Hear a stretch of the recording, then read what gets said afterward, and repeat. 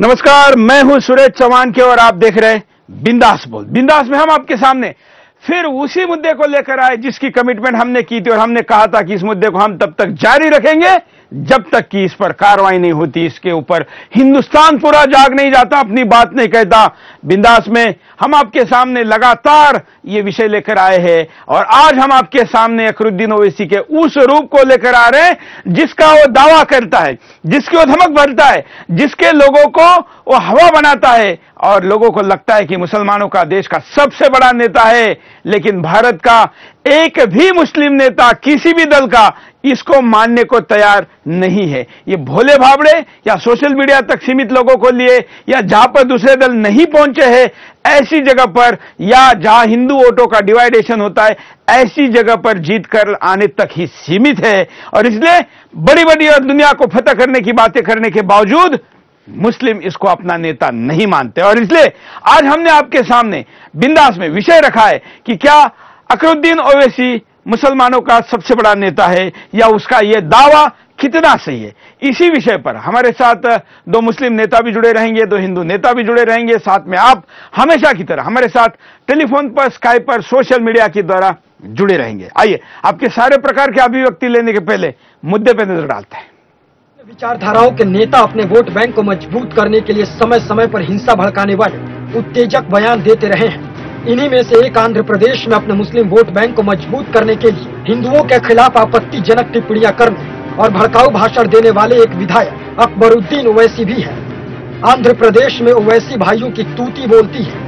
ओवैसी भाइयों का विवादों से पुराना नाता रहा है। आए दिन सुर्खियों में बने रहते हैं। गौरतलब है कि हैदराबाद में रहने वाले अकबरुद्दीन ओवैसी पर हाल ही में एक भड़काऊ भाषण देने, दो संप्रदायों के बीच वैमनस्यता फैलाने और सरकार के खिलाफ युद्ध छेड़ने के आरोप में तीन मामले दर्ज किए गए थे। ओवैसी आंध्र प्रदेश विधानसभा में ऑल इंडिया मजलिस इतिहाद अल मुसलमीन के विधायक हैं और पार्टी के सदन के नेता भी हैं। 14 जून 1970 को हैदराबाद में जन्मे ओवैसी पार्टी के सबसे बड़े दिवंगत नेता सलाहुद्दीन ओवैसी का छोटा बेटा है। इसका बड़ा भाई असदुद्दीन ओवैसी हैदराबाद से पार्टी का सांसद है। मई 2011 में मोहम्मद पहलवान के साथ चार अन्य लोगों ने ओवैसी पर हमला किया था। ओवैसी को चाकू मारा गया। इतना ही नहीं। उस पर तीन बार गोली भी चलाई गई थी, लेकिन वह किसी तरह बच निकला। इस घटना से दो साल पहले, यानी 1999 में, ओवैसी और पहलवान के समर्थक के बीच चुनावी मैदान में झड़प भी हुई थी।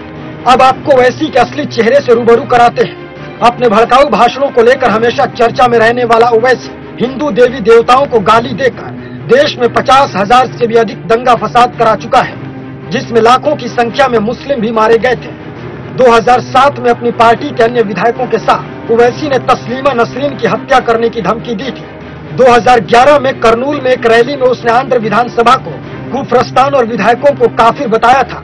इससे तो पता चल ही गया होगा कि अपने आप को मुस्लिमों का बड़ा नेता बताने वाला ओवैसी मुसलमानों को भी नहीं बख्श रहा है। तो फिर कैसे ये दावा करता है कि वो मुस्लिमों का बड़ा नेता है? Bureau report, Sudarshan news. तो ये मुद्दा है और इस मुद्दे पर आपको अभी बेखौफ होकर बोलना है, अपनी बात को पहुंचाना है। मैं पहले सारे दर्शकों का अभिनंदन करना चाहूँगा कि इस मुहिम के साथ दुनिया के जाने माने लोग जुड़ रहे अगर आपको देखना है तो सुदर्शन न्यूज़, ये जो हमारा फेसबुक पर आईडी है सोशल मीडिया में इसी आईडी से हमारे कई जो अकाउंट है, उस पर आप देख सकते हैं कि दुनिया दुनिया के कितने जाने माने लोग इस विषय पर अपनी प्रतिक्रिया दे रहे कल सोमवार से हम इस कड़ी को शुरू करेंगे कि जैसे कल कीर्ति आज़ाद ने दिया, फिर सुब्रमण्यम स्वामी से लेकर तमाम सारे लोग, सांसद और नेता और धार्मिक नेता भी ओवैसी के बारे में क्या राय रखते हैं, ये भी हम दिखाएँगे। पाकिस्तान में क्या राय रखते हैं, ये भी बात दिखाएँगे। तमाम सारी चीज़ें आगे चलाएँगे। आपका अभिनंदन। इसलिए क्योंकि इस मुहिम को लगातार देखने वाले, रोज देखने वाले दर्शकों की संख्या कई गुना बढ़ रही है और हमें अपने वेबसाइट के पैकेज को अपडेट करना पड़ा क्योंकि उसकी कैपेसिटी खत्म हो गई। इतनी ज़्यादा रोज की लॉगिन हो रही है। इसका मतलब हिंदुस्तान इसके बाद से है सहमत है। इसका मतलब हिंदुस्तान उनकी आवाज़ हमारे साथ मिलाना चाहता है और बोलना चाहता है और इसलिए आपका मैं अभिनंदन करते हुए इस मुद्दे की शुरुआत करता हूँ कि क्या ओवैसी का सबसे बड़ा मुस्लिम नेता होने का दावा सही है। कितना सही है और कैसे सही है और नहीं है तो क्यों नहीं है? इसकी सच्चाई क्या है? इसकी पोल खोलने के लिए आज का ये पूरा एक घंटा हम इसी विषय पर डेडिकेटेड करेंगे। हमारे साथ कई गेस्ट भी जुड़े रहेंगे साथ साथ में कई कॉलर हमारे साथ जुड़े। पहले कॉलर के पास चलते, उनकी बात सुनते हो, क्या कहना चाहते हैं? जय हिंद। बोलिए, क्या कहना है आपको? आप लाइव में जुड़ चुके हैं, बोलिए। शायद कॉलर से संपर्क नहीं हो पा रहा है। हम अगले कॉलर के पास जाएँगे। आप भी कॉल कर सकते हैं। स्क्रीन पर चल रहे नंबरों पर आप कॉल कर सकते हैं और साथ में अगर आप वीडियो कॉल करने की सुविधा आपके मोबाइल पर लैपटॉप पर या टैब पर है तो आप स्काइप के द्वारा भी हमारे सुदर्शन न्यूज़ इस आईडी पर लॉग इन करके कॉल कर सकते हैं। हम वीडियो कॉल भी लेंगे। साथ साथ में आप व्हाट्सएप पर वीडियो भी भेज सकते हैं, जिसको हम अपने चैनल पर और साथ में हमारे सोशल मीडिया पर भी डालेंगे। कॉलर जय हिंद। हाँ सर जय हिंद। मैं पंजाब फाजिलका से अनिल कपूर बात कर रहा हूँ। हाँ। ये जो अवेसी है आप अपने इतिहास में पुराने समय में देखिए एक दैत्य हुआ करते थे और एक देवता हुआ करते थे।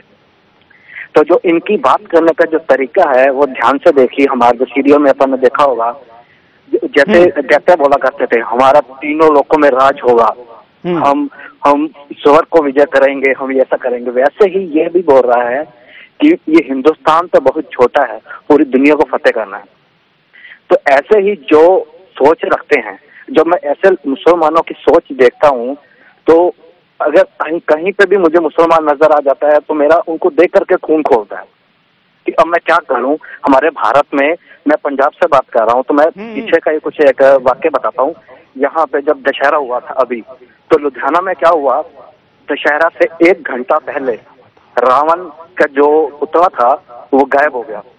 हाँ। एक घंटा पहले वो गायब हो गया। सोचने की बात है हम्म। कि कोई हिंदू धर्म वाला या कोई चोर एक घंटा पहले एक कागज़ के पुतला जो बना हुआ है उसको क्यों चुराएगा? हम्म। सोचने की बात है। ऐसे कई घटनाएँ लगातार आसपास हो रही है। हमारे साथ जो अतिथि भी जुड़े हुए हम उनके पास भी चलेंगे।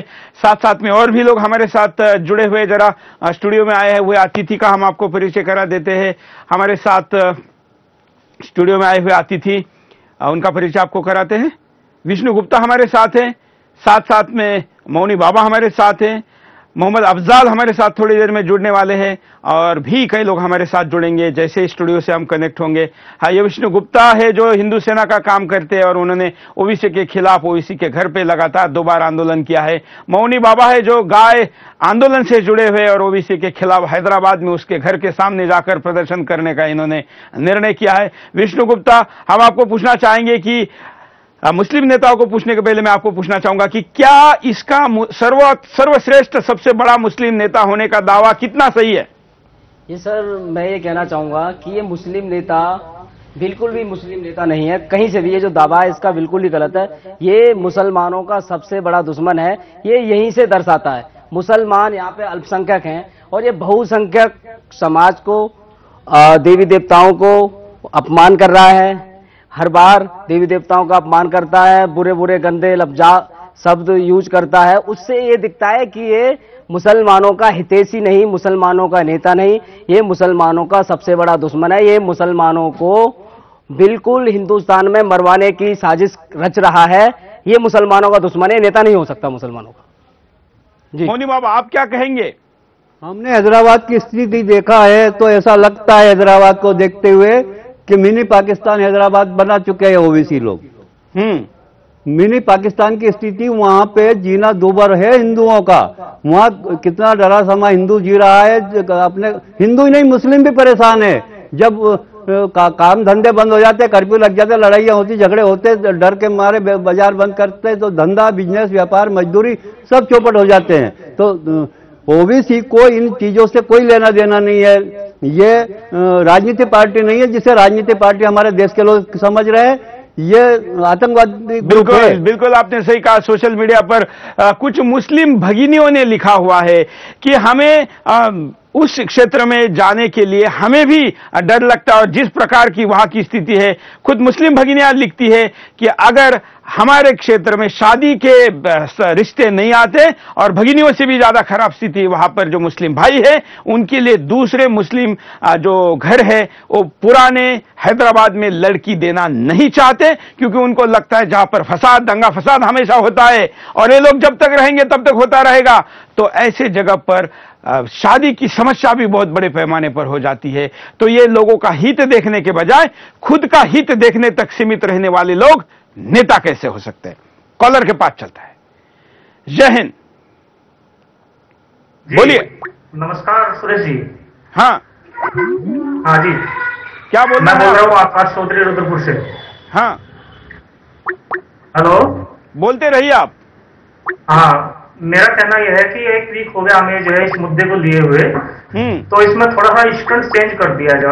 अब जो है ये साधारण बात से जो है गिरफ्तारी हो नहीं रही इसकी ना ही इसके चुनाव आयोग में भी हमने कई दफे लगाया नंबर पहले तो बात उठाते नहीं उठाते हैं तो कोई बताते नहीं। धरना प्रदर्शन का प्रोग्राम चालू करवाओ ना आप इसका। हम्म। ये तो समाज ने करने का काम है ये चैनल ने करने का काम नहीं है। हम तो आपके सामने सत्य लेकर आ रहे हैं हिम्मत से विषय दिखा रहे हैं, तो धरना देने का काम भी अगर चैनल करेगा तो क्या आप हाथ में हाथ बैठे धरे बैठे रहेंगे? धन्यवाद। अगले कॉलर के पास चलते हैं। आपकी तरफ़ से आप इस विषय पर क्या करने वाले हैं ये ज़रूर बताइए। और अगर केवल चुनाव आयोग तक कॉल क्यों कर रहे आप इंटरनेट से नंबर निकालकर तेलंगाना के मुख्यमंत्री को कॉल करिए वहाँ के गृह मंत्री को कॉल करिए। आपके सांसद को पूछिए कि वो क्यों नहीं चुनाव आयोग में इस विषय के खिलाफ बात करता? आप जिस भी दल को वोट देते होंगे उस दल के कार्यालय में फ़ोन करिए उनको कहिए कि इस विषय पर वो चुनाव आयोग से क्यों कंप्लेन नहीं करते। अगले कॉल जय हिंद। के लिए गाड़ी दे रहे मुसलमान। हम्म। तो इन्हें कोई सजा ना मिले है? हाँ। हमारे देवी देवतान को लिए गाड़ी दे रहे हैं इन्हें कुछ सजा दो कैडी पे कैडी सजा दो। इन मुसलमानों के अल्लाह को कोई गाड़ी ना दे रहा हो कोई कुछ ना कर रहा हो। हमारे देवी देवता ने गाड़ी दे रहे हैं कैडी पे कैडी सजा न मिला इन्हें। है? कुछ तो करो इनका। और प्रधानमंत्री भी कुछ न कर रहा कोई भी कुछ न कर रहा और ये हमारे भगवान ने गाड़ी दिए जा रहे हैं। क्यों दे रहे हैं ये गाड़ी क्या कारण है इसका? बिल्कुल। इन्हें कुछ कहो इनसे कुछ सुनो भाई क्यों दे रहे हो? कल तो गलती मान है नहीं तो इसे फांसी की सजा होनी चाहिए। बिल्कुल फांसी तो दूर है इसके खिलाफ कोई शब्द बोलने को तैयार नहीं है। चंद लोग अब तैयार होने लगे हैं और हमको हैदराबाद से लेके देश विदेश से कई जगह से ये समर्थन के फ़ोन आ रहे हैं। एसएमएस आ रहे मेल आ रहे और हमारे फेसबुक के पेज पर भी लोग पोस्ट डाल के कह रहे हैं कि हम इसके खिलाफ हैं और अगर आप इसके विषय में कुछ करते हैं। लेकिन हम कहते हैं कि हमारा तो जितना काम है, हम कर रहे हैं। अब इसके आगे करने का काम समाज का है, सामाजिक संस्थाओं का है, व्यक्ति का है, देश के हर नागरिक का है। अगर वो करेगा तो ज़रूर इसके ऊपर कार्रवाई होगी। और इतने आसानी से होने वाले विषय होते तो कोई और कर लेते ना। उसके लिए इतने दिन चुप रहने की या इतने दिन कुछ ना होने की स्थिति क्यों बनती? ये काम मुश्किल है लेकिन करना है। इस हिम्मत के साथ अगर करेंगे तो हो पाएगा। कॉलर के पास चलते हैं। जय हिंद। हाँ, सुरेश जी नमस्कार। बोलिए। मुंबई से बोल रहा हूँ। हाँ। हाँ सर। बोलिए। के बारे में मैं तो अपनी कविता से बोलता हूँ सर। हाँ। तो मैं मैं बोल रहा हूँ साहब शुरू कर रहा हूँ। बोलिए। कि कलमकार हूँ, कलमकार का फ़र्ज़ निभाने निकला हूँ। कलमकार हूँ, कलमकार का फ़र्ज़ निभाने निकला हूँ। आपकी ही आवाज़ में मैं आवाज़ मिलाने निकला हूँ। अपनी तो सब सोच रहे हैं, जरा देश की भी सोचे। सबको ज़िम्मेदारी का एहसास दिलाने निकला हूँ। सबको ज़िम्मेदारी का एहसास दिलाने निकला हूँ। इसको पकड़ो, अंदर डालो, दंगा क्या करवाएगा। हिंदू और मुसलमानों को आपस में लड़वाएगा। कहता है दो घंटे लड़ तो उसके बाद हम आएँगे। दो घंटे में पता नहीं ये कितना का घर जलवाएगा। दो घंटे में पता नहीं कितने का घर जलवाएगा। सदियों से हम गाय पूजते, गाय हमारी माता है। दूध गाय का या भी पीता, मांस गाय की खाता है। लाज नहीं आती है ऐसे अत्याचारी पापी को। चुल्लू भर पानी में जाकर डूब नहीं मर जाता है, या तो यह कौआ है, या तो कोई दुष्ट परिंदा है। इसकी करतूतों पर तो इस्लाम भी शर्मिंदा है। जिस थाली में खाया, इसने छेद उसी में कर डाला। पता नहीं है आता ताई कैसे अब तक ज़िंदा है। पता नहीं है आता ताई कैसे अब तक ज़िंदा है। भारत को गाली देता है, ऐसा सबक सिखाएँगे। जूते की माला पहना कर गधे पर बैठाएँगे। मुँह पर काली खोद कर इसको सारा सूत्र घुमाएँगे। रस्सी से बांट को इसे चौराहे पर लटकाएँगे। देश का मुखिया बदल गया है, हवा देश की बदल गई, सोच देश की बदल रही है, फिजा देश की बदल गई। हर भूले भटके भाई को साथ देश को जोड़ेंगे। एक सभी एक हो गए तभी हम अंधकार को तोड़ेंगे। सभी एक हो गए तभी हम चलिए चलिए।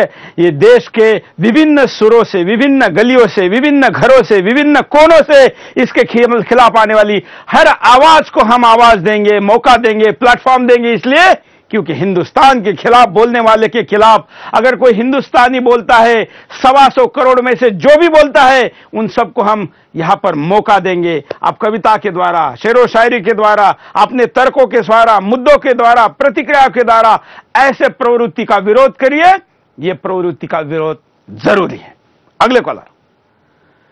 जय हिंद। हाँ जयंत सुरेश जी नमस्कार। बोलिए। अशोक पंचाल दिल्ली सादरा से बोल रहा हूँ। हम्म। आपके इस प्रोग्राम को देख के मेरा मन जो है ना कुछ बाग बाग हो रहा है। ये खुशी हो रही है कि आप इतनी मतलब इतनी मेहनत कर रहे हैं। हम्म। तो इसका कुछ ना कुछ असर होना चाहिए। और मैं आपको बता दूँ कि ये गुरु गोविंद सिंह शिवाजी महाराज पृथ्वीराज चौहान और इन्होंने जो है ना जो मुगलों के खिलाफ जो आवाज़ उठाई थी मुझे लगता है कि हिंदुओं ने इनका साथ नहीं दिया था। इसलिए हिंदू लोग मतलब इसलिए हम लोग यहाँ कामयाब नहीं हुए थे। हम्म। और एक आपको कड़वा सच बता दू? हेलो? बिल्कुल बोलिए बोलिए। आपको मैं कड़वा सच बताना चाहता हूँ आज। हाँ। अगर अगर अंग्रेज़ों ने इस हिंदुस्तान पर शासन न किया होता तो मुगल साम्राज्य की कड़ी को तोड़ना बहुत मुश्किल काम था। ये हिंदुओं को क्यों नहीं समझ में आता? हम इतिहास को अलग अलग एंगल से देखते हैं। धन्यवाद कॉल करने के लिए। हम यहाँ पर रुकते एक छोटे से ब्रेक के लिए। ब्रेक के बाद दोबारा आएँगे। बिंदास बोल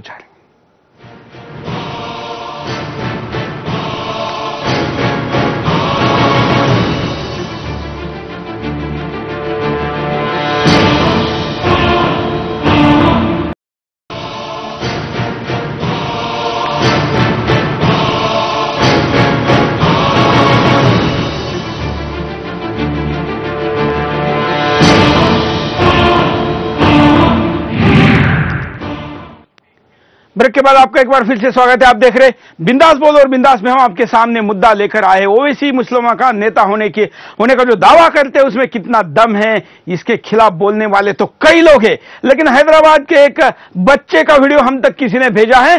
जरा आपको दिखाते कि बच्चा उस अकबर, जिसको कि बाकी हिंदुस्तान के लोग शेर समझते हैं क्या क्या न जाने उसको लेकर क्या क्या इंटरनेट पर डालते रहते हैं। जरा देखिए वहाँ का बच्चा इसको क्या बोलता है। में चूड़िया पहन लेता अकबर भी। हाथ में चूड़िया पहन लेता पहन के थालियाँ बजाता ना। आर पार का मुकाबला है सुन ले अकबर आर पार का मुकाबला है इसलिए मैदान में खड़े मैं परत पे। आजा हैंड पॉइंट लड़ लेंगे। तो तू भी मेरे काम का नहीं है। दोनों भैया आ जाओ। मुंजल भी आ जाओ। तीनों आ जाओ। और मैं अकेला पाँच पारों का हाफिज। आ जाओ तुम तीनों तो मैं अकेला आर पार का मुकाबला छीड़ देता हूँ ऊपर से। टांग पे टांग रख के नहीं छीड़ा तो मेरा नहीं। याद रखिए आप देख रहे हैं क्या औकात है। ओवैसी शेर बोलते हैं न जाने क्या क्या उसको बोलते हैं। एक बच्चा उसको चैलेंज दे रहा है और ये वीडियो हम तक भेज रहा है। सोशल मीडिया पर भी ये वीडियो डाला हुआ है। आप देखते हैं ये कैसा नेता है। लेकिन अब हम हमारे साथ तो दो मुस्लिम नेता जुड़ गए हम उनके पास चलेंगे। उसके पहले हम एक वीडियो आपको दिखाते हैं कि पाकिस्तान इसके बारे में हवा कैसे बनाता है। देखिए पाकिस्तान के टीवी चैनल पर इसको लेके एक चर्चा का कुछ अंश हम आपको दिखाते हैं। वो जो इंडिया का एक मुसलमान है उर्दू स्पीकिंग सलाउद्दीन अकबर अब्बासी। सलाहुद्दीन उनके वालिद का नाम था उनका अपना नाम है अकबरुद्दीन अवैसी। हाँ भाई वही वही। यार वैसे मैं हैरान हुआ हूँ देख के कि वो इंटरनेट पे और फेसबुक पे छाया हुआ है उसका वो तकरीर करने का अंदाज और वो उसके दलेरी के डायलॉग पुलिस के साथ इंडियन पुलिस के साथ बल्ले बल्ले बल्ले बल्ले बड़ा रौला पड़ा हुआ मेरा ख्याल है कि क्याम पाकिस्तान के बाद अगर कश्मीर को एक तरफ़ रखो तो हिंदुस्तान के अंदर मुसलमानों के हकूक के लिए किसी मुसलमान रहनुमा ने इस जरूरतमंदाना अंदाज में आवाज़ नहीं उठाई। ये पहली बार ये अंदाज देखने में और सुनने में आ रहा है। नहीं तो ये हुआ क्या है एकदम? किस तरह ये ज़रूरत की है इंडिया के मुस्लिम? मैं हमारे अतिथियों के पास चलता हूँ हमारे साथ जुड़े हैं मोहम्मद अफजाल जी। मोहम्मद जी राष्ट्रीय संयोजक है राष्ट्रीय मुस्लिम राष्ट्रीय मंच के। अफजाल जी आपका स्वागत है।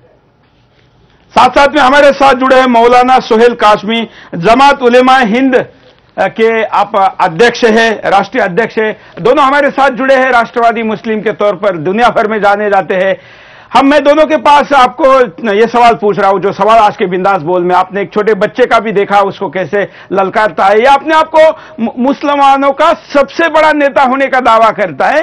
इस विषय पर मोहम्मद अफजाल साहब, आपकी पहली प्रतिक्रिया। देखिए जी, मैं हैदराबाद गया था।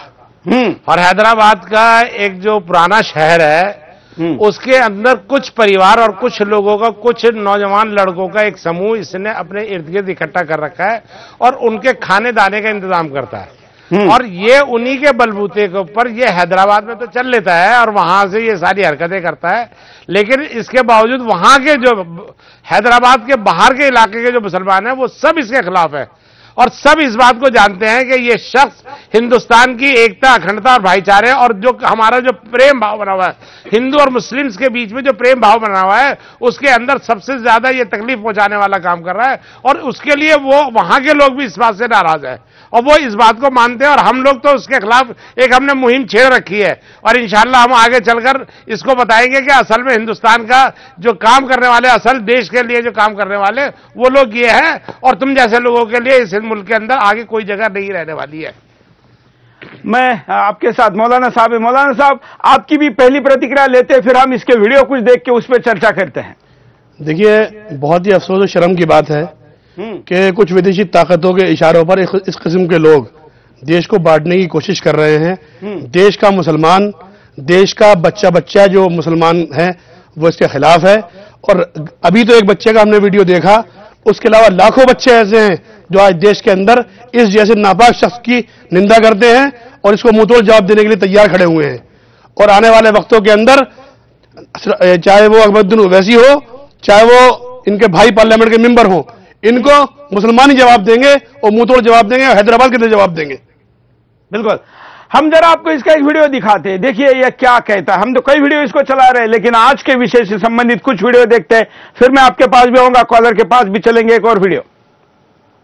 ऐसे कहा मेरे आका ने कि खुल जाहौला को जहाकुल बातिल इन्नल बातिला काना होगा कि बातिल आया मिटने के लिए याद रखो नौजवानों ये मिटने के लिए आए हैं।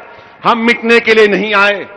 मैं फिर से तुमसे कह रहा हूँ कि जब तक हम ज़िंदा हैं, दुनिया ज़िंदा है, दुनिया आबाद है। हम नहीं तो दुनिया नहीं। ये गुंडों को खत्म करो। ये कहाँ के भी गुंडे होंगे, खत्म करो इनको। मुंडी कुचलो इन लोगों की। मौलाना सोहेब जी, ये मुंडी कुचलने के लिए बोल रहा है बाकी लोगों की। इसका मतलब गैर मुस्लिम जितने भी होंगे, उनकी मुंडी कुचलने के लिए धर्म का आधार दे रहा है। जरा आप स्पष्ट करिए। देखिए ना तो ये कोई धार्मिक लीडर है ना कोई धार्मिक इन्होंने पढ़ाई की है। दाढ़ी रखकर टोपी लगाकर हर नापाक आदमी एक ईमानदार नहीं हो सकता। नापाक आदमी जो दिल से नापाक है मन से नापाक है विचारों से नापाक है वो नापाक ही रहेगा। चाहे वो धर्म का लिबादा ओढ़ ले चाहे वो मज़हब की आड़ में कहीं भी छुपा रहे। इनकी गंदगी आज आवाम के सामने आ गई है। देश का मुसलमान राष्ट्रवादी लोग जो देश के लिए मर मिटना चाहते हैं आज वो इतनी इतनी ज़्यादा तकलीफ़ में है इनके बयानों की वजह से। और खास तौर पर सोशल मीडिया के अंदर, जो इन्होंने पूरी दुनिया के अंदर अपने आप को मशहूर करने के लिए नापाक तरीके इख्तियार किए हैं, उसको आने वाले वक्तों के अंदर, इंशाअल्लाह करीम, हम मजहबी अंदाज में जवाब देंगे इनको। बताएँगे असल मज़हब क्या है? हमारा मज़हब मुंडी कुचलने की हिदायत देता है या मुंडी बचाने की हिदायत देता है? इस्लाम तो जो किसी की मुंडी अगर मसली जा रही हो, उसको बचाने के लिए कहता है कि अगर तुम्हारा पड़ोसी, तुम्हारा पड़ोस में रहने वाला तुम्हारे देश में रहने वाला तुम्हारे पड़ोस में रहने वाला कोई कमज़ोर आदमी उसके खिलाफ कोई हमला करता है तो तुम्हारा फ़र्ज़ बनता है कि उसकी हिफाजत करो और, कि हर एक की जो है आप मोहब्बत के लिए उसके तहफ़ के लिए आगे निकलो। ये कौन सा इस्लाम इन्होंने सीखा है? मौलाना मैं सोहेब जी अगर आप इसके खिलाफ बोलेंगे तो ये आपकी मुंडी कुचलने की भी बात करता है। मैं एक एक बात और मैं आपको बताऊँ इन्होंने हक और बातिल की बात करी है। हक और बातिल को इनको समझना आता है। पहले इन्हें पता है ये क्या ये हक पर है। जो इंसानियत के खिलाफ काम करता है वो बातिल है। ये बातिल है ये हक नहीं है। ये मैं मौलाना सोहेब जी से। कुरान हमने पढ़ा है हदीस हमने पढ़ी है इस्लाम को हमने पढ़ा है। ये क्या जाना है कि हक क्या है और बातिल क्या है? बिल्कुल। इस्लाम ये कहता है कि हर मजलूम का यानी कि जो मजलूम जो कमज़ोर है उसको पिटते हुए बचाना है। जालिम के खिलाफ खड़े होना है। और ये लोग तो वो लोग हैं जो जुल्म करने वाले हैं देश को बांटने वाले हैं देश के अंदर जो नफरतें फैल रही हैं वो इनकी वजह से फैल रही हैं। और इंशाल्लाह करीम हम आने वाले वक्तों के अंदर हैदराबाद के अंदर रैली करके बताएँगे कि हक कौन है और बातिल कौन है। बिल्कुल। आप देख रहे हैं कि देश की क्या आवाज़ है क्या प्रतिक्रिया है। अगले कॉलर के पास चलते हैं। जय हिंद। बोलिए। हेलो। हाँ। नमस्कार सर। नमस्कार आप लाइव में जुड़ चुके हैं बोलिए। इसको जो है ना इसको पाकिस्तान भेज देना चाहिए बीच चढ़ा पे इसको फांसी देना चाहिए दोनों को। हम्म। इसको बीच चढ़ा पे फांसी दे देना चाहिए ऐसे ऐसे ऐसे सोए हुए शोर शेर को ये लोग ना। जगाना ना चाहे लेकिन जिस दिन जग गया उस दिन यहाँ से मार मार करके सभी को पाकिस्तान भेज देंगे। चलिए धन्यवाद। केवल एक ही प्रतिक्रिया सब लोग मत दीजिए जरा अलग अलग बातें करिए अलग अलग तर्कों के साथ बात को आगे बढ़ाइए। अगले कॉलर जय हिंद। हाँ धन्यवाद धन्यवाद सुरेश जी आपने जो ये मुद्दा उठाया उसके लिए मैं आपका धन्यवाद करता हूँ। सारे देश से प्रतिक्रिया आ रही है मैं देख रहा हूँ दो तीन दिन से ये देख रहा हूँ लेकिन अभी तक चुनाव आयोग या अपना निवडणूक का जो विभाग है उन्होंने अभी तक कुछ कार्रवाई नहीं की है। कितनी बार कांग्रेस के और बीजेपी के नेता कुछ ऐसे बोलते हैं तो उनके ऊपर कार्रवाई होती है लेकिन इनके ऊपर अभी तक कुछ कार्रवाई हुई नहीं है। दूसरी बात ये कहना चाहूँगा कि मैं हैदराबाद में रह चुका हूँ मैं आईटी में काम किया हूँ और मैं देखता हूँ कि वहाँ के हिंदू और मुसलमान भाई कितने अच्छे से रहते हैं। मुझे मैं रात रात में घर आता था, था लेकिन मुझे आज तक कभी भी हमला नहीं हुआ या कुछ नहीं हुआ। इतना आंदोलन हुआ तेलंगाना का लेकिन कभी भी ऐसा नहीं हुआ। दूसरी बात ये कहूँगा कि कोई भी हिंदू जब उसको लगता है तो उसको बचाने का जो खून लगता है उसके ऊपर कभी ये नहीं लिखा होता वो हिंदू का खून या मुसलमान का खून है। उस पर लिखा होता है ए पॉजिटिव बी पॉजिटिव। इसलिए हम दोनों का खून एक है। हम सबने मिल मिलकर ये लड़ाई लड़नी चाहिए और ऐसे जो भी आवाज़ उठाते, गलत आवाज़ उठाते, उनको दबाना चाहिए। ये अपने देश की अखंडता के ऊपर लगाया हुआ धब्बा है, इसको दबाना चाहिए। और फिर से मैं ये आपके, जो आपके चैनल के माध्यम से कहना चाहूँगा कि जो भी नियोजन आयोग के अधिकारी है, उन्होंने जल्द से जल्द कार्रवाई करे। और ऐसे जो आपका जो चैनल है उनको इस तक पहुँचने के लोगों को इकट्ठा करके उनको तक आवाज़ पहुँचाने के जो काम कर रहे हैं इतनी नौबत नहीं आनी चाहिए। वो उनका खुद का काम है उन्होंने करना चाहिए। अभी तक कुछ भी एक भी पैर उन्होंने उठाया अभी तक है। अभी तक तो कुछ भी नहीं किया है। अभी तक आयुक्त ने ईमेल इतने मेल आए किसी को रिप्लाई तक नहीं किया है।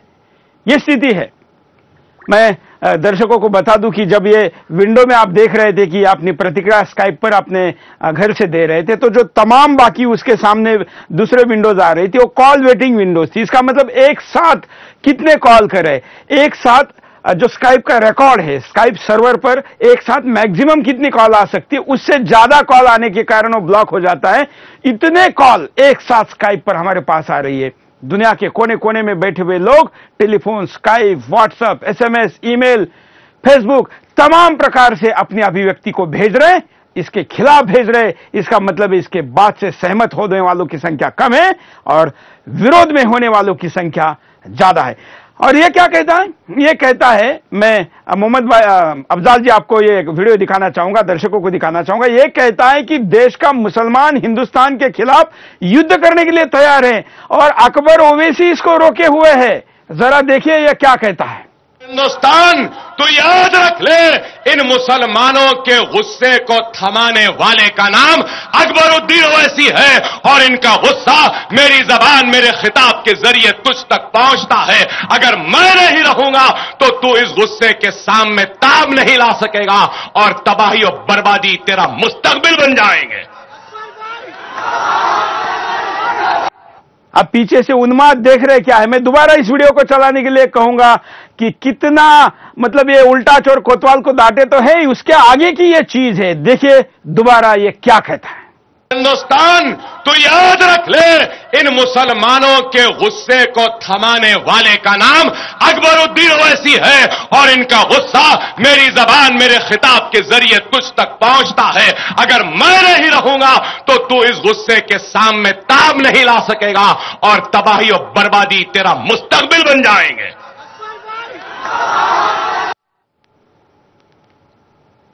अफजाल जी के पास चलते हैं। अफजाल जी, क्या कहेंगे? ये इससे ज़्यादा शर्मनाक और इससे ज़्यादा दुख भरी बात कुछ नहीं हो सकती। हिंदुस्तान का मुसलमान, ये कौन होते हिंदुस्तान की ठेकेदारी करने वाले? और मुझे तो इस बात पे भी शक है, ये मुसलमान है। जो मुसलमान होता है उसकी ये प्रक्रिया, प्रतिक्रिया होनी ही नहीं चाहिए।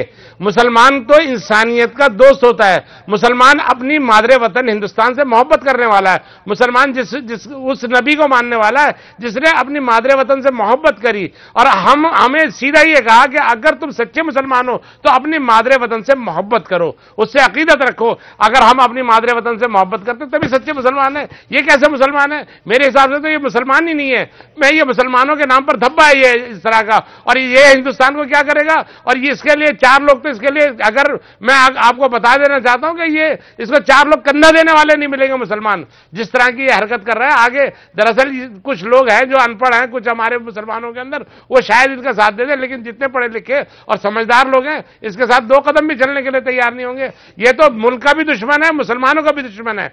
और ऐसे आदमियों को तो मैं कहता हूँ बहन द बार इनको जेल खाने के पीछे भेज देना चाहिए। ये मैं और मैं ये कह, मैं यहाँ तक कहने के लिए तैयार हूँ कि इसका दिमागी तवाजुन खराब हो चुका है ये दिमाग खराब हो चुका है इसको इस बारे में इसका दिमागी इलाज भी करवाना चाहिए। मेरे हिसाब से ये मैं मानता हूँ। बिल्कुल अगर दिमाग इलाज इसकी ज़रूरत है इसको अगर इसको आगरा में भेज दीजिए थाने में भेज दीजिए वहाँ एडमिट कर दीजिए इसको सभा में पॉलिटिकल रैली में टीवी चैनलों में, और लोगों से मिलने कैसे दिया जाता है अगर इसकी ये स्थिति है?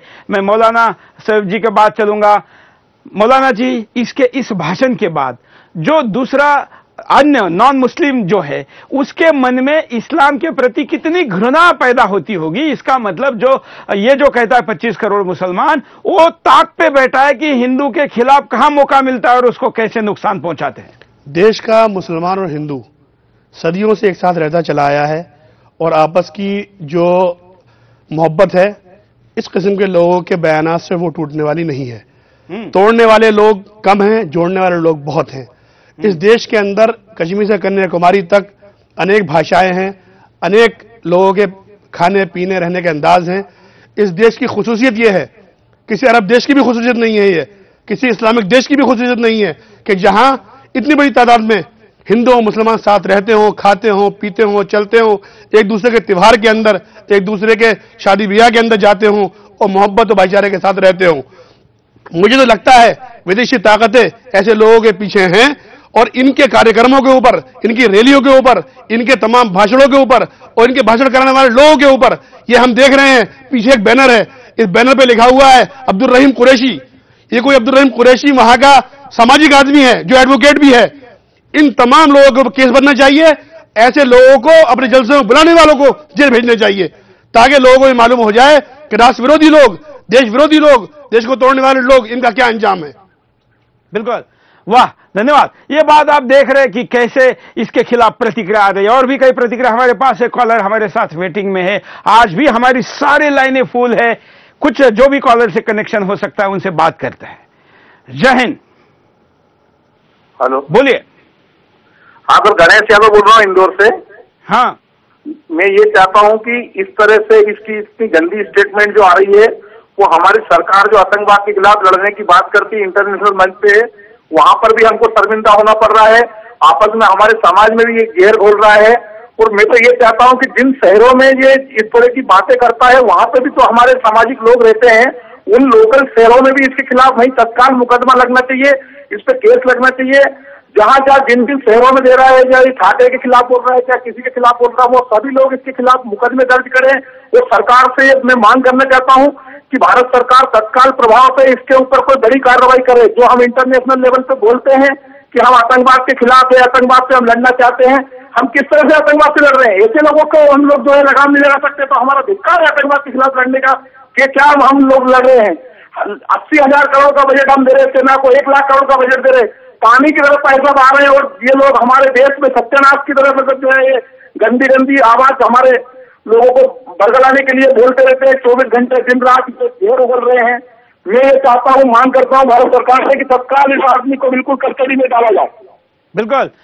बिल्कुल सही कहा आपने। मैं भी आपसे सहमत हूँ कि आखिर हमारे पास लाखों की फौज, लाखों की सेना, इतनी सब कुछ ताकत है, मिसाइलें। हम कहीं चाइना पर, पाकिस्तान के उस कोने पे, दूसरे देश में मिसाइल डालने की बात करते हैं, लेकिन हैदराबाद के अंदर भोंकने वाले इसके गले में पट्टा डाल नहीं सकते। तो ये सारी जो ताकतें हैं, ये आखिर ताकत हमारे पास क्यों है? क्या केवल 26 जनवरी को राज पथ पर इसका प्रदर्शन करने के लिए है, या बड़े बड़े केवल टेंडरों तक सीमित है। अगर उसका उपयोग, उसका भय, उसका डर, उसके डर का परिणाम ऐसे लोगों के दिमाग पर नहीं हो सकता तो उस ताकत का एहसास हिंदुस्तान को, सरकार को, सेना को, पुलिस को करके दिखाना होगा, और वो करे बगैर ऐसे लोगों के जो दिमाग खराब हुए हैं, वो ठीक नहीं हो सकते। अगले कॉलर जय हिंद। सुरेश जी नमस्कार। ए के मिश्रा बोल रहा हूँ अम्बाला से। हाँ। मैं ये पूछ रहा हूँ कि लोग चुनाव आयोग का घेराव क्यों नहीं करते? अब तो लगता है कि चुनाव आयोग के को भंग करने की मांग होनी चाहिए और साथ ही गृह मंत्री को भी बदलने की ज़रूरत है। धन्यवाद। चुनाव आयोग ने जिस प्रकार से इस विषय में ढिलाई बरती है, तमाम विषय है जिसमें चुनाव आयोग सालों साल कैसे चलाता है। पता नहीं फिर चुनाव आयोग का काम भी क्यों, फिर बोल दो कि नंगा नाच करो, जिसको जो करना है। अगर चुनाव आयोग ने कुछ करना ही नहीं है तो कुछ लोग सीमा में रहे और कुछ लोग सीमा तोड़कर उसका बलात्कार करे सारे मर्यादाओं का। फिर भी चुनाव आयोग चुप है तो फिर चुनाव आयोग है किस लिए? हमारे आपने करोड़ों रुपए का जो हम टैक्स देते उस टैक्स से चुनाव आयोग चुनाव करता है। उस चुनाव में बहुत बड़ा खर्चा उम्मीदवार या उम्मीदवारों के नेता, उनकी रैलियों पर होने वाले भाषणों को रिकॉर्ड करने में होता है। इस देश के हज़ारों उम्मीदवारों का लाखों घंटे का रिकॉर्डिंग चुनाव आयोग के पास है। अगर उसमें से ऐसे गंद फैलाने वाले लोगों के ऊपर कार्रवाई नहीं होती तो चुनाव आयोग इस रिकॉर्डिंग पर हमारे जेब के पैसे, हिंदुस्तानियों के जेब के पैसे, जो कि किसी गरीब के मुँह में अन्न के रूप में जा सकते हैं, किसी बीमार के लिए दवाई का काम आ सकते हैं, वो भी वहाँ नहीं जा रहे हैं, और ऐसी रिकॉर्डिंग करके चुनाव आयोग अगर उस पर पाल्टी मारकर बैठता है तो इसका मतलब चुनाव आयोग अपना काम सही नहीं कर रहा है। मैं विष्णु गुप्ता के पास जाऊँगा। विष्णु गुप्ता, आप लोग काफ़ी प्रदर्शन करते रहते हैं। आप क्यों नहीं चुनाव आयोग के खिलाफ भी कुछ करते? सर, ऐसा है कि जब ये सबसे पहले मैं आपका और सुदर्शन चैनल का धन्यवाद करूँगा कि उन्होंने इस मुद्दे को खुल के उठाया, जबकि इस मुद्दे को कोई भी चैनल नहीं उठा रहा है। और जहाँ तक हिंदू सेना का सवाल है, हिंदू सेना ने अभी मैं पूर्व में भी चार दिन पहले उसके घर के बाहर धरना प्रदर्शन किया।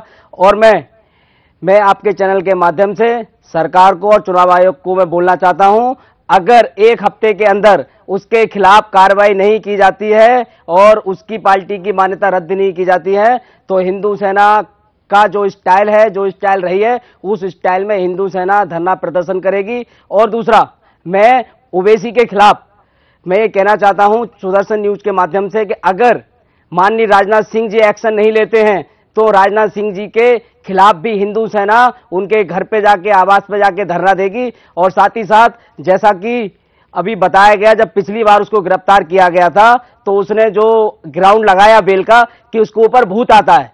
जिनके ऊपर भूत आता है, भूतों को उतारने का जो रास्ता है, जो ज़रिया है, वो सिर्फ़, वो किसी कानून के पास नहीं है, वो तो सिर्फ़ जूतों का है, लातों का है और घूसों का है। अगर सरकार नहीं सुनती चुनाव आयोग बैन नहीं लगाता और सरकार उसके खिलाफ कार्रवाई नहीं करती। तो उबेसी, मैं बताना चाहता हूँ ओबीसी पार्लियामेंट उसका बड़ा भाई, पार्लियामेंट भी है मेंबर ऑफ़, और जब सत्र चलेगा, वो दिल्ली आएगा और हिंदू सेना दावे से उसका लात घूसों से और जूतों से स्वागत करेगी, उसका भूत ऐसे नहीं उतरेगा जब तक लात घूसे नहीं बरसेंगे उस पर मैं मौलाना सोहेब जी के पास जाना चाहूँगा। मैं आपको इस्लाम में क्या भूत प्रेत इस विषय में क्या धारणा है? क्योंकि ये बोलता है कि जब ये इसको अरेस्ट किया गया तो इसने बेल का ग्राउंड ये बनाया कि हमारी ऐसी मान्यता है और वो जहाँ कस्टडी में था उसको कोई भूत परेशान करता था इसलिए इसको जमानत दे दी। देखिए जो कस्टडी में था उस वक्त की जो सरकार थी वो खुद भूतों की सरकार थी। और वो इस किस्म के लोगों को पालती थी और पाल के आगे परोसती थी। इसीलिए ऐसी ना, नालायकी की बात को उसने तस्लीम किया और इसे कोर्ट के अंदर जो है तस्लीम होने दिया। और हमारी ये अपील है कि इस किस्म के जो लोग जो तकरीर करने हर जगह पहुँच जाते हैं महाराष्ट्र का चुनाव हो चाहे वो आंध्र प्रदेश का चुनाव हो भूत वाली बात पे थोड़ा सा मैं आप दोनों से प्रतिक्रिया चाहूँगा कि ये क्या मैटर है। मैं वैसे किसी दो तांत्रिकों को बुला के इसके वीडियो दिखा के उसको भी जरा लोगों के सामने ऐसा कुछ नहीं है। उजागर करूँ। मैंने देख लिया है। मैं खुद मौलाना हूँ कोई भूत भूत नहीं है। और जो अभी हमारे भाई ने कहा इसका इलाज जो है वही है। एक दो मतलब लोग थे। कहना कि इसके ऊपर अगर भूत है भी तो राजनीति का भूत राजनीति का भूत है और उसका इलाज जो है वो दूसरे अंदाज से होना चाहिए। और जिस तरीके से महाराष्ट्र के अंदर भी एक, एक साहब के वो भूत सवार था उनका इलाज हो गया था। हाँ। तो अभी आंध्र प्रदेश वालों के ऊपर भी इलाज होना बहुत ज़रूरी है। मोहम्मद साहब आप, अफजल साहब कुछ कहना चाह? हाँ मैं ये कहना चाह रहा था कि ये जो ये जो भूत की जो बात है ना मज़हब इस्लाम में भूत का कोई कंसेप्ट ही नहीं है। और जो वो कहते हैं ना उसके लिए जो भूत जो होता है ना भूत नाम की कोई चीज़ नहीं है। ये सिर्फ़ हमारे हिंदुस्तानी सभ्यता के हिसाब से हो सकता है कोई हिंदू भूत आ गया ये वो कौन सा भूत आया उसके ऊपर मेरी समझ में नहीं आया। हमारे मज़हब इस्लाम में कोई भूत नाम की चीज़ नहीं है। ऐसा कोई लफ्ज नहीं है भूत का। मतलब अगर इसने भूत का दावा किया है तो इस्लाम के खिलाफ है। खिलाफ है। ये इस्लाम के असल खिलाफ है। ये असल क्या भूत का जो हमारे हमारी हिंदुस्तानी संस्कृति में भूत लफ्ज है। लेकिन मुस्लिम तो हम एक अलग से एपिसोड करेंगे। हाँ। हिंदुस्तान को जरा ये भूत और इस्लाम और ओवैसी ये सारा कंसेप्ट भी क्लियर करेंगे। लेकिन आज एक और हम आपको वीडियो दिखाते हैं और उस पर उसके बाद उस पर चर्चा करते हैं। देखिए ओवैसी का एक और नंगा नाच। अरे हिंदुस्तान हिंदुस्तान हम 25 कौड़ है ना। तुम सौ कौड़ है ना। ठीक है? तुम तो हमारे से इतने ज़्यादा है। पंद्रह मिनट के लिए पुलिस को हटा लो, बता देंगे किसमें हिम्मत है, कौन ताकत है। मैं अफजाल साहब के पास जाऊँगा, मोहम्मद अफजाल जी। ये जो 25 करोड़ की फेरी है इसकी, ये वीडियो बहुत चला है। बहुत बार देखने के बाद भी लोग दोनों तरफ़ के लोग इसको बार बार देखना चाहते हैं, क्योंकि ये बड़े आवेश के साथ इस दावे को करता है। क्या ये जो 25 करोड़ कहता है वास्तव में इस 25 करोड़ में से कितने लोग इसके पीछे होंगे? संख्या में करोड़ों में अगर हम संख्या में कहे वो, वो संख्या शून्य से शुरू होकर करोड़ों तक चल सकती है तो वो संख्या कितनी हो सकती है? ऐसा है जनाब मैं सीधे सीधे एक बात बताऊँ कि 25 करोड़ मुसलमान जो हिंदुस्तान में हैं वो कई विदेशी मुसलमान नहीं है वो इस देश के मुसलमान हैं। इस देश के रहने वाले हैं इनके पुरखे इनके जो आबा अजदाद इनके बुज़ुर्ग वो इस देश के थे। अब आज अगर हमने मज़हब इस्लाम इख्तियार कर लिया तो इसका मतलब ये नहीं है कि हम कई विदेश से आए हुए हैं। ये 25 करोड़ मुसलमान जिनकी वो बात कर रहा है ये कोई सऊदी अरबिया के मुसलमान है या और जो पाकिस्तान के मुसलमान है वो भी हिंदुस्तान के मुसलमान है जो बांग्लादेश के मुसलमान है वो भी हिंदुस्तान के मुसलमान है। ये कौन से 25 करोड़ मुसलमान की बात कर रहा है? वो हिंदुस्तान से बाहर के कोई 25 करोड़ के मुसलमान है? जो हिंदुस्तान का मुसलमान है वो हिंदुस्तान के सभी भाइयों के साथ हम 25 करोड़ नहीं है 125 करोड़ हिंदुस्तानी है। हम मुसलमान और हिंदू की बात करने वाले इंसान को मुसलमान ही नहीं समझते। जिस तरह की ये बात कर रहे हैं ये हमारे हमारी जो मोहब्बत और अखलाक और भाईचारा है हमारे मुल्क में जो प्यार और मोहब्बत है जो इसका चलन है उसको तोड़ने का काम ये कर रहे हैं। और ऐसे लोगों के साथ पीछे तो चार मतलब अगर दो चार पाँच लाख पाँच हज़ार कुछ मुसलमान हैं तो इससे अलावा इनके पीछे चार मुसलमान नहीं होने वाले। और ये जो अनपढ़ जो गरीब मुसलमान है उनको असल क्या है कि इसके पास पैसा है। इसके पास एनजीओ है इस तरह का उसने वो चला रखा है कि पैसा इसके पास खूब आता है। और इन्होंने घर पे पाल रखे इन लोगों को। ये मैंने जो मैंने जो वहाँ की स्टडी करी है ना हैदराबाद जाकर इन्होंने पूरे परिवार को पाल रखा है। और जिस तरीके से पा, उनको पाल जो रखा है जिस तरह से और उनको उनके घर में रोजी रोटी पहुंचाता है। तो उस इस वजह से जब उनको खाने को उनको कोई काम नहीं है। उनको सिर्फ़ ये काम है कि वो वैसी अकबरुद्दीन वैसी जहाँ जा रहा है इसके साथ उनके पीछे पीछे अपने अपनी फौज लेके जाना। इसके अलावा और कोई काम नहीं है और ऐसे लोगों के लिए सरकार को बड़ी नजदीकी नज़र रखनी चाहिए और ऐसे लोगों को जो है कम से कम उन लोगों पर भी नज़र रखनी चाहिए और जो इनके फॉलोअर है उन पर भी नज़र रखनी चाहिए। मैं आपको एक बात और कहना चाहूँगा मुझे याद है बार जब हमने इसके खिलाफ कार्यक्रम किया था, करीब साल भर पहले तब आए थे, इसमें मोहन भागवत जी के उस बयान को लिया था, जिसमें मोहन भागवत जी कहते हैं कि इस देश में रहने वाले सारे ही लोगों के खून में या हमारे डीएनए में राम श्री कृष्ण का डीएनए है। ये उसको नकारता है। वो देखिए एक बात सुनिए ये हमारी सभ्यता हमारी तहजीब हमारी हिंदुस्तानी तहजीब है और हम इस तहजीब के अलंबरदार है और हमें इस बात का गर्व है हम हिंदुस्तानी मुसलमानों को। इसको ये अगर इसको नकारेगा तो इसका मतलब ये थोड़ी है कि सारे हिंदुस्तान के मुसलमान इसको नकार देंगे। हम सब लोग यहाँ से हम सब लोग इसी हिंदुस्तान के इसी माटी के हैं। अगर अगर भागवत जी ने जो बात कही है उसके वो सही की गई है। ऐसा नहीं है कि कोई गलत है। कोई हम कोई सऊदी अरब के आने वाले- वाले मुसलमान नहीं है। या हम कोई तुर्की के मुसलमान नहीं है। हम हिंदुस्तानी मुसलमान हैं और हिंदुस्तान से मोहब्बत करने वाले मुसलमान हैं। तो ये इस तरह की बात करने वाले, ये लोग वाकई में ये मुसलमान कहलाने लायक ही नहीं है। जिस तरह के अवैसी जैसे लोग मुसलमान के लायक भी नहीं है। हम्म। मैं मौलाना सोहेब जी को पूछूँगा कि इंडोनेशिया में वहाँ पर पॉपुलेशन वाइज धर्म को मानने वाली पॉपुलेशन भले ही इस्लाम की सबसे ज़्यादा हो गई हो लेकिन वहाँ पर रामायण को भार, जो भारतीय या हिंदू स्क्रिप्चर से उसको आज भी माना जाता है। वहाँ के मुसलमान के घर में आज भी रामायण होता है। तो यह भारत के मुसलमानों को राम पे नाम पर क्यों चिढ़ाता है? देखिए इस्लाम के अंदर हमारे नबी पाक सल्लल्लाहु अलैहि वसल्लम ने ये फरमाया कि आप तमाम धर्मों का आदर करें उनके पूर्वजों का उनके जो भी जिनके पूज्य लायक लोग हैं सबका आप एहतराम करें क्योंकि इस्लाम का ये नज़रिया है कि सबका एहतराम करना चाहिए। और इसीलिए पूरी दुनिया के अंदर कोई भी पढ़ा लिखा मुसलमान आलिम मौलाना आपने देखा होगा किसी भी धर्म के बारे, बारे में कोई नीची बात नहीं करता। हमेशा एहतराम की निगाह से देखते हैं क्योंकि वो जानते हैं कि इस्लाम का क्या पैगाम है और इस्लाम की क्या तालीम है। जहाँ तक रामचंद्र जी का ताल्लुक है या और जो लक्ष्मण जी या श्री कृष्ण जी ये तमाम जो अवतार हुए हैं इन तमाम के एहतराम के लिए हमारे उलमा इक्राम ने हमेशा से कहा है कि कोई भी मुसलमान इनके बारे में कोई गलत लफ्ज नहीं निकालेगा। हमेशा से फतवा यही रहा है हमारे उलमा का लेकिन ये तो ये प्रभु श्री राम के खिलाफ भी बोलता है उनके माँ के खिलाफ भी बोलता है लक्ष्मी जी के खिलाफ भी बोलता है पता नहीं कितने भगवान हैं ऐसा बोलता है वो भी मैं वीडियो दिखाने के लिए कहूँगा लेकिन उसके पहले कॉलर के पास चलते उसके बाद आपके पास आएँगे। कॉलर से बात करते हैं। जय हिंद। बोलिए। जी नमस्कार। बोल रहा हूँ बॉम्बे से। हाँ।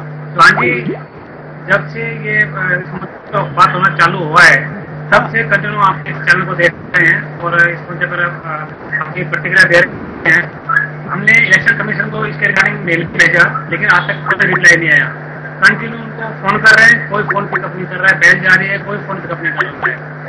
सुहान जी, इससे जो ये ओवैसी का मुद्दा है, बहुत अच्छा मुद्दा उठाया है और पहली बार जो अभी स्टूडियो में आए हुए जो मुस्लिम भाई है, मैं इनके जो विचार है और इनकी वंदना करता हूँ। पूरे भारत में ऐसे मुस्लिम भाई सभी हो जाए, सब धर्म को जानने वाले हो जाए तो हमें कभी भी ऐसा उग्रवाद का या ऐसे दुर्भावना का जो आपस में बैर भावना है ऐसे हमें सामना नहीं करना पड़ेगा। लेकिन ओवैसी जैसे लोग, इनको कौन समझे जिन्हें कभी धर्म की व्याख्या ये जानते हैं लोग, और दूसरे को पूरे आपस में इंडिया को तोड़ने की बात कर रहे हैं, इसका अभी धन्यवाद। बिल्कुल सही कह रहे हैं आप देश भर दुनिया भर से आने वाली सारी प्रतिक्रिया इसी दिशा में जा रही है। और भी कई कॉलर है हम कहेंगे कि समय कम बचाए कम शब्दों में अपनी बात को रखें। जय हिंद।